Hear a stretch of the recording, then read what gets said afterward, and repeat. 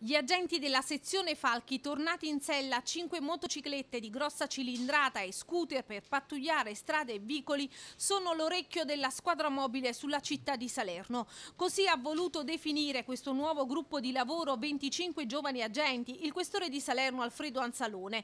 Persone giovani e motivate nella struttura esistente della squadra mobile per fare prevenzione ed intelligence nei luoghi più frequentati, per fare soste ovunque, entrare nei negozi e parlare con con la gente. Una costola vincente per la squadra mobile di Salerno dove diventa sempre più fitta l'attività investigativa con quella repressiva. Adesso sono presenti e sono all'interno della squadra mobile e non sono finalizzati soltanto alla prevenzione, quella la fanno da sé, una moto che gira e si capisce che la Polizia di Stato fa prevenzione. C'è un'intelligenza alle spalle, quello mi piace sottolineare, perché quello che vedono, che sentono, che trattano da sbirri lo transiteranno invece poi alla sezione antirepine e sarà analizzato e oggetto di attività investigative. Perché secondo me la prevenzione da sola non basta, la repressione incide, incide notevolmente.